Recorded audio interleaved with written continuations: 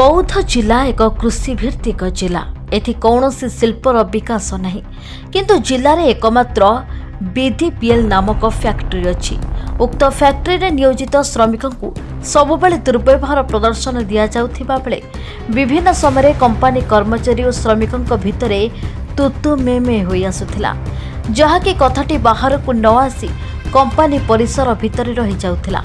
କିନ୍ତୁ କମ୍ପାନୀ କର୍ମଚାରୀଙ୍କ ଦୁର୍ବ୍ୟବହାର ଅତିରୁ ହେବା ପରେ ଗୁରୁବାର ଦିନ ଶତାଧିକ ଶ୍ରମିକ ଏକତା ହୋଇ ଫାଟକ ସମ୍ମୁଖରେ ନିଜର ହକ୍ ପୂରଣ ଓ କର୍ମଚାରୀଙ୍କ ବ୍ୟବହାରରେ ଅତିଷ୍ଠ ହୋଇ ନାରାବାଜି ଦେଇ ଦିନ ତମାମ ଧାରଣାରେ ବସିଥିବା ଭଳି ଦୃଶ୍ୟ ଦେଖିବାକୁ ମିଳିଥିଲା। ଧାରଣାରେ ଥିବା ଶ୍ରମିକଙ୍କ ଅଭିଯୋଗ ଅନୁଯାୟୀ ହରଭଙ୍ଗା ବ୍ଲକ ରାମ୍ଭିକଟା ବିଡିପିଏଲ୍ରେ ସବୁଦିନ ପରି ଶ୍ରମିକମାନେ କାର୍ଯ୍ୟରେ ଯୋଗଦାନ କରିଥାନ୍ତି।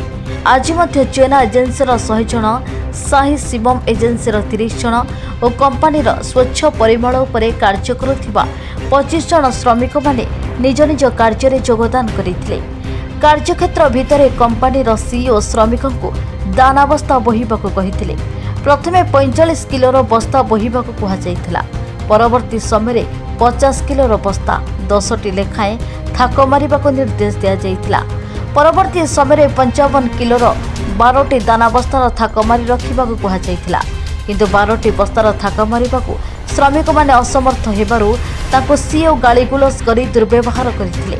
ଏପରିକି ବୌଦ୍ଧ ଜିଲ୍ଲା ଶ୍ରମିକଙ୍କୁ କଠିନ କାର୍ଯ୍ୟରେ ନିୟୋଜିତ କରିବା ଅନ୍ୟ ଜିଲ୍ଲାର ଶ୍ରମିକଙ୍କୁ ସିଓଙ୍କ ଇଚ୍ଛା ମୁତାବକ କାର୍ଯ୍ୟରେ ନିୟୋଜିତ କରାଯାଉଛି ବୋଲି ଶ୍ରମିକଙ୍କ ଭିତରେ ଅଭିଯୋଗ ଆଣିଥିଲେ। ଏପରିକି ଏସବୁ ଘଟଣାର ପ୍ରତିବାଦ କରିବାରୁ ଶ୍ରମିକଙ୍କୁ ନାଲି ଆଖି ଦେଖାଇ କାମ କରି ନ ପାରିଲେ ଘରକୁ ପଳା ବୋଲି ଧମକ ଦିଆଯାଇଥିଲା।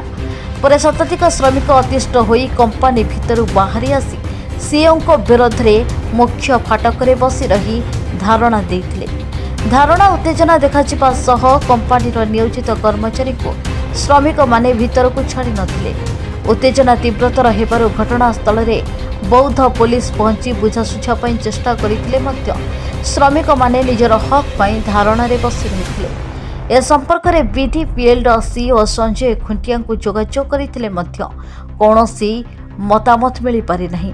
ଅନ୍ୟପଟେ ଶ୍ରମିକଙ୍କ ନ୍ୟାର୍ଯ୍ୟ ଦାବିକୁ ପୂରଣ କରିବାକୁ କମ୍ପାନୀର ନିୟୋଜିତ ଶ୍ରମିକ ପ୍ରଶାନ୍ତ ପ୍ରଧାନ ମୁରାରୀ ବାଘ ଉମର କହଁର ଚିତ୍ତରଞ୍ଜନ ନାୟକ ପ୍ରଶାନ୍ତ ମହାକୁଡ଼ ପ୍ରଶାନ୍ତ ସାହୁ ସାଗର ନାୟକ ମଧୁସୂଦନ ଗିରିଙ୍କ ସମେତ ଶତାଧିକ ଶ୍ରମିକ ବୌଦ୍ଧ ଜିଲ୍ଲାପାଳ ଓ ଶ୍ରମାଧିକାରୀଙ୍କ ନିକଟରେ ଦାବି କରିଛନ୍ତି। ଗଞ୍ଜାମ ଜିଲ୍ଲାରୁ ଅଶେଷ କୁମାର ପାତ୍ରଙ୍କ ରିପୋର୍ଟ।